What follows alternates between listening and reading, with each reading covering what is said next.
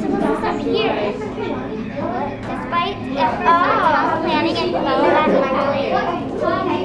I think so.